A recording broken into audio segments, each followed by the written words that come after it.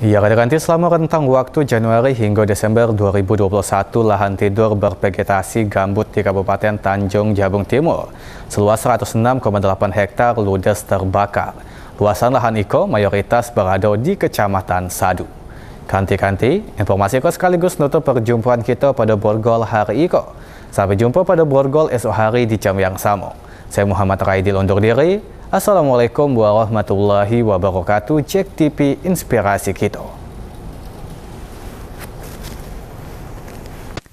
Badan Penanggulangan Bencana Daerah atau BPBD Kabupaten Tanjung Jabung Timur menyatakan selama periode Januari hingga Desember 2021 IKO, luas lahan yang terbakar di wilayah tersebut sudah mencapai 106,8 hektar. Angka IKO tersebut menurun bila dibandingkan beberapa tahun yang lalu.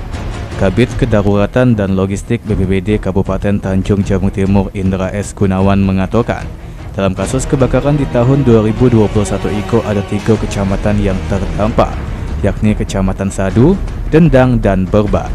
Untuk Kecamatan Karhutla terluas berada di Kecamatan Sadu dengan luasan 86,5 hektar. Satu ini untuk Kabupaten Tanjung Timur masalah penanganan karhutla kita telah berakhir siaga darurat karhutanya pada tanggal 31 Oktober tahun 2021 sampai dengan 31 Oktober 2021 jumlah lahan yang terbakar itu seluas 106,8 hektar yang terbanyak itu terjadi di Kecamatan Sadu itu seluas 86 hektar 86,5 hektar dan di beberapa bagian berbak dan dendang. Adapun keseluruhan lahan yang terbakar tersebut merupakan lahan tidur atau kosong yang bervegetasi lahan gambut, sehingga petugas kerap kesulitan dalam memadamkan karhutlah tersebut.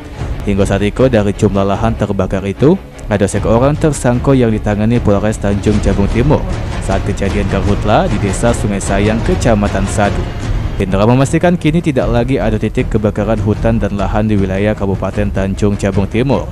Sejumlah daerah yang sebelumnya sempat ditemukan kebakaran lahan, seluruhnya sudah dipadamkan petugas gabungan. Pihaknya saat itu berfokus pada